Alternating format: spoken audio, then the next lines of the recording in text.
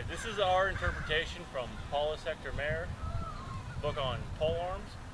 He ends up in a position much like this, which at first glance doesn't make much sense, but if I am here and I get a stab to my inside, I end up here. I end up thus.